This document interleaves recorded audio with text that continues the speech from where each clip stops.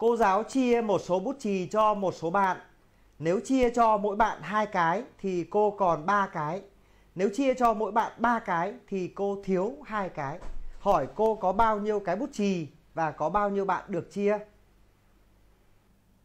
Đây là các bạn được chia. Nếu à, cô chia cho mỗi bạn hai cái, hai cái vân vân thì cô còn thừa ba cái. Thế thì cô nghĩ thế này, thôi chia thêm cho mỗi bạn để đủ mỗi bạn ba cái đi. Tức là cô sẽ chia thêm cho mỗi bạn cộng một cái nữa. Mỗi bạn thêm một cái nữa. Thêm một, vân vân, cứ thế. Thì à, không những cô đã phải dùng hết ba cái à, mà đang còn đây mà cô bị thiếu mất hai cái. Thế thì cô lại phải đi mua thêm hai cái thôi, mua ở đâu đó hai cái và cô đem về cô chia cho các bạn cho đủ.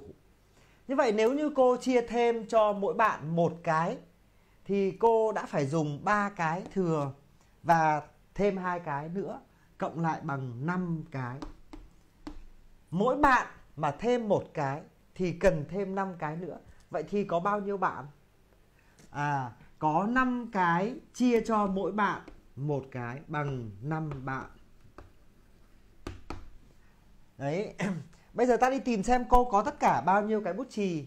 Thế khi mà cô có cô chia cho 5 bạn này.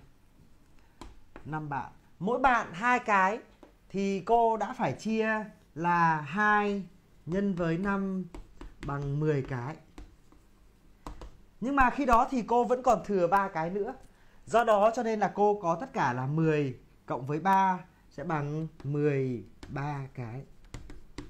Vậy à, đáp số là cô có 13 cái bút chì và có 5 bạn được chia.